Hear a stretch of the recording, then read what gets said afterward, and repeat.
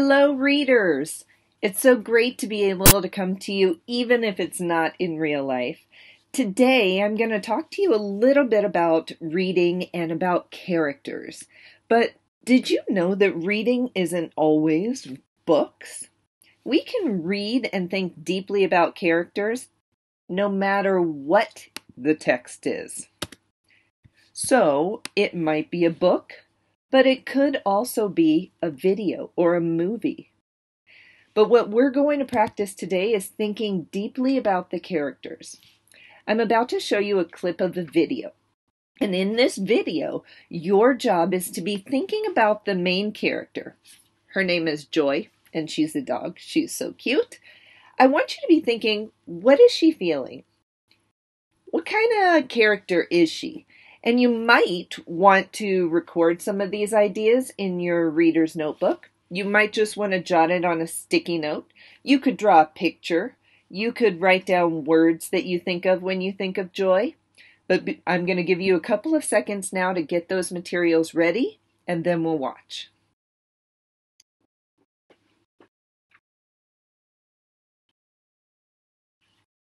Okay, here we go.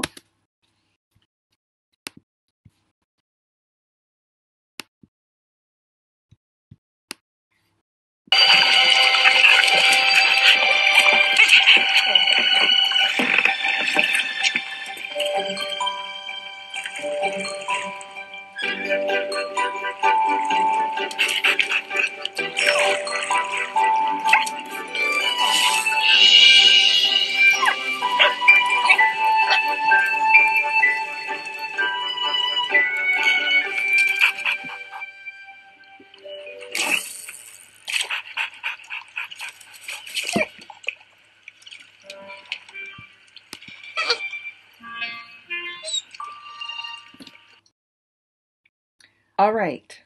So now you may have set up your reader's notebook to look something like this. There are two characters in this story that we're going to focus on. The first is Joy and the first and the second is Heron. So you might have sticky notes. You might have just taken some notes in your writer's or reader's notebook. And right now I want you to think about what kind of character is Joy. You may have said or drawn a smiley face because she seemed pretty happy and pretty excited, right? Excited. You may have put a little sticky note that just had the word excited. As you continue to watch this video, I want you to think about Heron, who we're about to meet, and what kind of character she is. All right, let's go on to the next slide and see what happens next.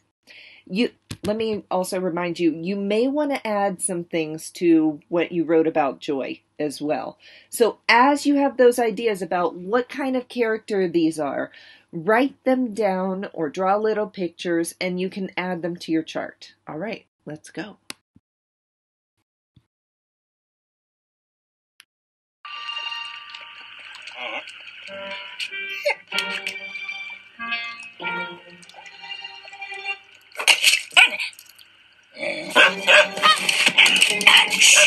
Shh.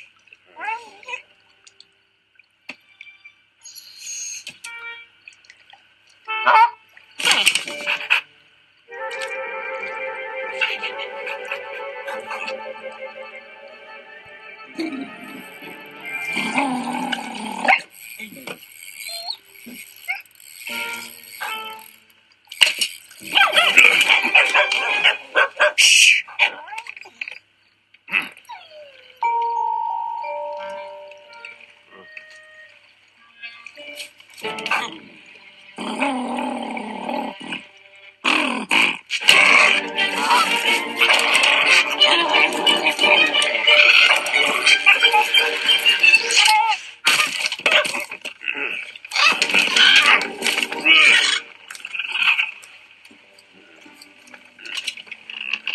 All right, part two.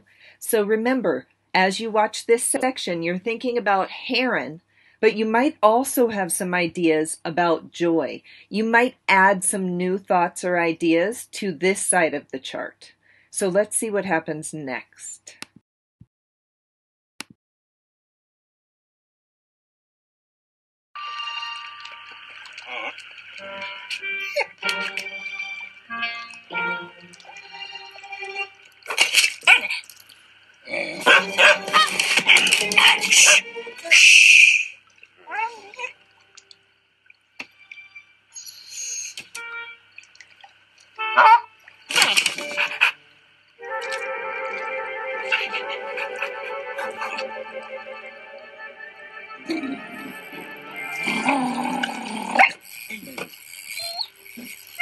Shh.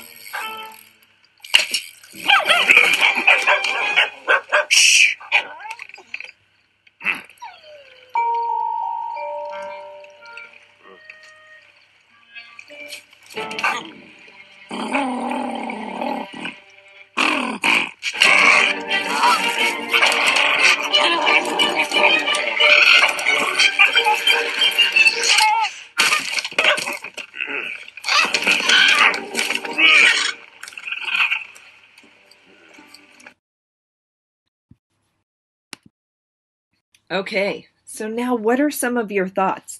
You'll notice here I added the word protective to Joy because I'm noticing that really she was just trying to watch out for her owner, but wow, he didn't even seem to get that.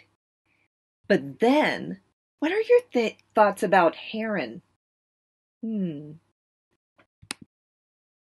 I get the feeling that Heron's kind of sneaky. She's just going around stealing from other people. She didn't feel like doing the work, I guess. Gosh, I wonder if you had some of those same thoughts.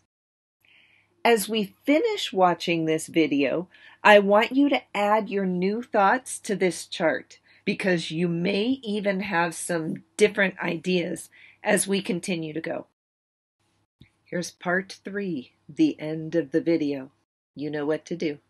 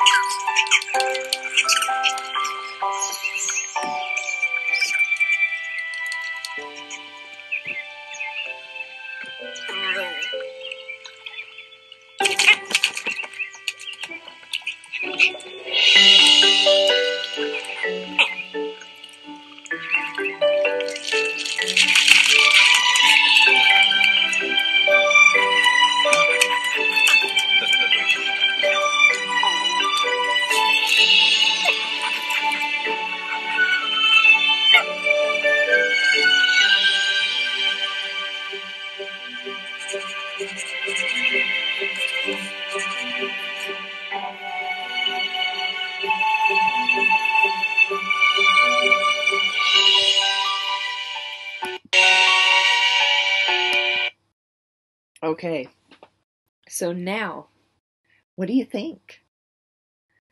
Maybe you discover that, wow, Joy kind of changed a bit.